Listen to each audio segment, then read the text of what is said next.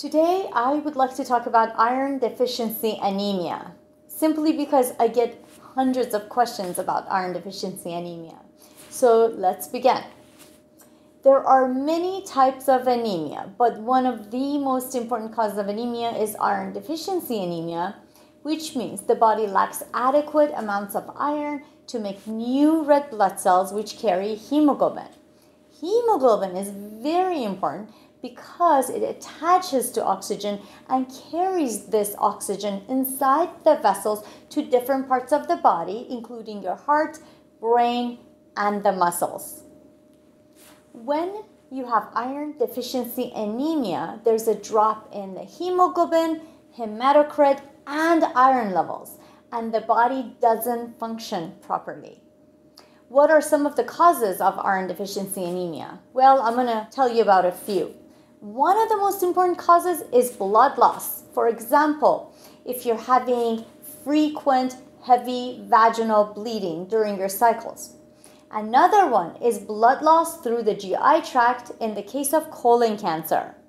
A second important cause is the lack of absorption of iron through the GI tract. For example, in patients with celiac disease, the mucosa is thickened and abnormal, and it does not allow for the absorption of iron through the mucosa in the duodenum. People with a history of gastric bypass surgery or weight loss surgery are also at risk because their duodenum is bypassed. The third cause of iron deficiency is poor intake of iron. But I would like to emphasize that this is an extremely rare cause of iron deficiency anemia here in the United States where food is plentiful. This is why it's extremely upsetting to me when people go to see a practitioner and they have iron deficiency anemia and the practitioner blames their vegan diet for iron deficiency.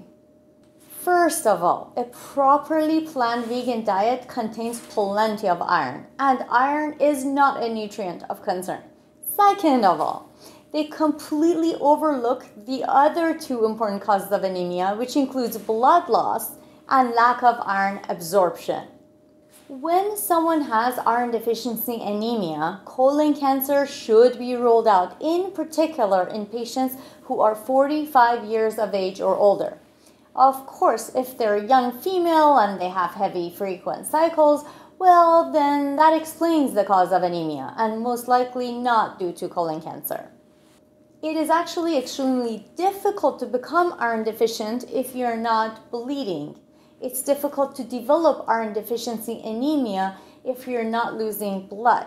This is because the body has an excellent ability to recycle the iron over and over again through one's lifetime. Every time a red blood cell dies inside the blood vessels, the iron circles back into the bone marrow to be reused to make new blood cells. It's not really lost. So, unless one is losing that iron through the vaginal tract or through the GI tract, it's almost impossible to become iron deficient unless in the case of celiac disease or gastric bypass surgery. So, let's just say you have iron deficiency anemia. What should you do? Well, you should replenish your iron stores by taking a plant based iron supplement because plant iron is healthier than heme iron, which comes from animal products. Sometimes food alone cannot be enough to replenish your iron stores, and you will need a supplement. In fact, even if you take a supplement, it may take up to nine months to replenish your iron stores.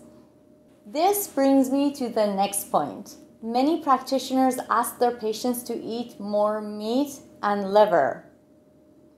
This is a mistake because heme iron is inflammatory cardiotoxic, and can potentially cause colon cancer. Heme iron from animal products is not the healthiest way to replenish the iron stores in your body, just like you wouldn't eat cheese for calcium, which causes inflammation.